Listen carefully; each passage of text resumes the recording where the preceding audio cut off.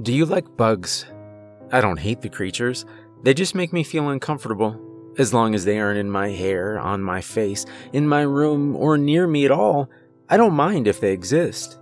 Some bugs are easy to handle, like little flies or mosquitoes, tiny little things that are annoying but can be dealt with easily.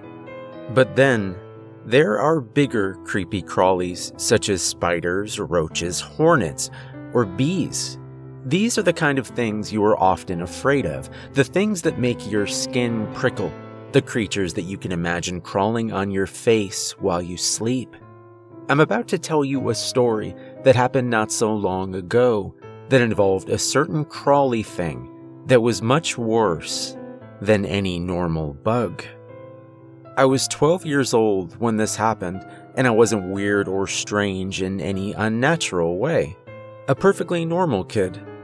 I never really liked bugs, but chose to ignore the ones that weren't major problems, and that worked out fine. Well, one day I was wandering around the house in search of something to do when, in a kitchen corner, right below the door, I spotted a black spider. It wasn't one of those long legged spiders, but a small, creepy black spider with pointy legs and eyes I couldn't see because of how small and beady they were. I shuddered. The spider just sat on a bit of web, silent and unmoving, like spiders are. But I got a chill. I felt like it was was watching me. I called for my mom and asked if she could take the spider outside, and she said she would. She got a glass and a piece of paper, scooping the spider up in the glass and making sure it didn't crawl out with the paper. Standing up with the trapped spider, my mom left to shake the creature outside. Suddenly, the chill went away, and I felt safe. Why was I so shaken up about a spider? I sighed in relief and went about my day. The next day, I was reading on the couch downstairs, waiting for my dad to get home from work so we could play a game, when I decided to get up for some water. I set my book on the couch, got up, headed for the kitchen, but suddenly I got that same chill. Somehow my eyes moved to the same corner below the door, and it felt like I knew something was there. And I was right. I glanced down at that corner, not sure what I expected to see and there, sitting silently just like the last one, was another creepy black spider. I just stood there for a while, staring at the corner, staring at that black spider, and shivering until my mom came into the kitchen. She asked what I was doing, and I pulled myself out of that strange trance. I turned to her, my eyes lifting from the spider, and I told her there was another one my mom said it was just a coincidence, and she took the spider outside like she'd done the previous day. I just nodded and glanced at the corner again. When I woke up, I saw a note from my mom saying she and my dad had gone somewhere important and would be back later. I didn't mind being alone, so I watched some videos and worked on homework until around 6 p.m. After a while, I decided to make some food so I walked to the kitchen again. I remembered that creepy spider, and for some reason I checked the corner once more. What I saw scared me, making me shiver and shake my head in disbelief.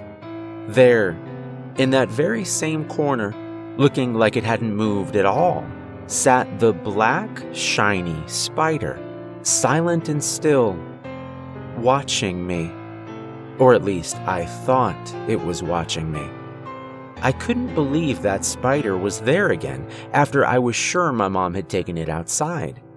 Backing away, I shook my head, eyes never leaving that ugly creature. Suddenly, it moved. I froze. It stopped. It moved again. It inched off that piece of web, dropping to the kitchen floor. My eyes widened, but I didn't move.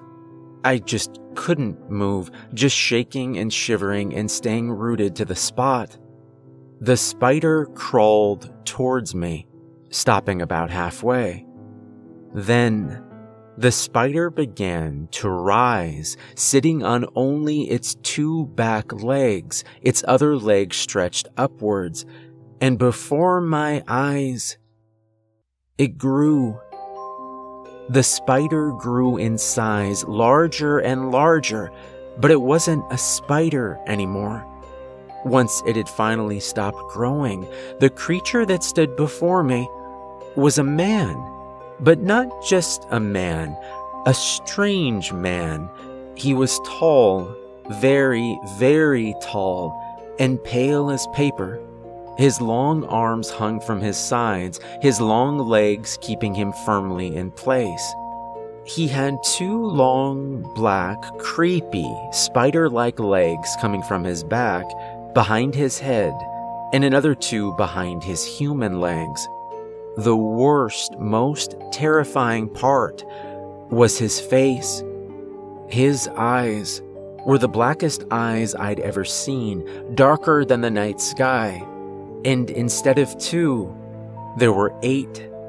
The man's grin was wide and unnatural, stretching wider than any grin could go, and he grinned like he knew. He knew I was scared. I screamed, finally able to move, grabbing the nearest object, a chair. I swung it, ready to fight this spider like being. Suddenly, he went on all fours, leaping at me with his mouth open, showing his fangs. I ran as fast as possible, smashing a window and leaping out. I ran all the way to my friend's house, not daring to look back.